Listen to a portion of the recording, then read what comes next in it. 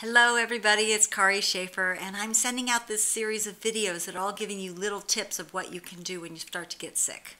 So today we're going to talk about the difference between what we call in Chinese medicine a wind cold and a wind heat.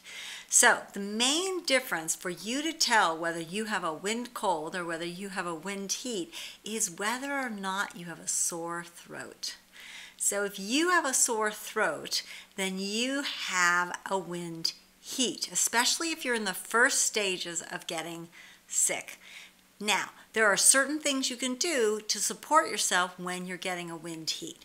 The first thing you want to do is think of grabbing peppermint tea and making it super, super strong. Peppermint, one of the medicinal properties of it is to clear a wind heat. So, so get yourself drinking really strong peppermint tea, bundle up and allow yourself to sort of sweat out that, that heat. Now the other thing that you can do is gargle. You want to the when you have a sore throat, it's because the the microorganisms that your body is fighting are in that region and it's creating some inflammation. Gargling can make you not a good host. And there's a couple of things you can try. You can try gargling with warm salt water. And all you do is you take a teaspoon of salt water, you put it in, in warm water, warm water that's more than warm, as hot as you can comfortably um, tolerate it.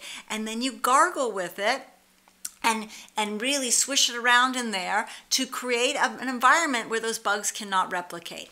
Another thing you can use if the salt water doesn't seem to be working is apple cider vinegar. You can, same thing, hot, hot, warm hot water, apple, a tablespoon, teaspoon of apple cider vinegar, gargle, gargle, gargle, gargle, gargle. And very often that alone will be enough to stop the process.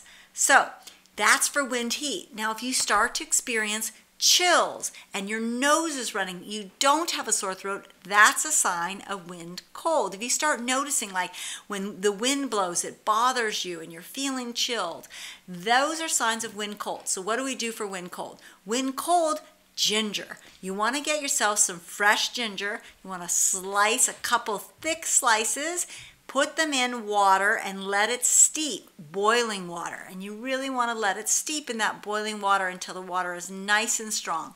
Again, you want to bundle up and you want to drink that ginger. You want to promote a sweat to help your body expel, as we say in Chinese medicine, the pathogen. You can even climb in a hot bath and really let yourself sweat it out.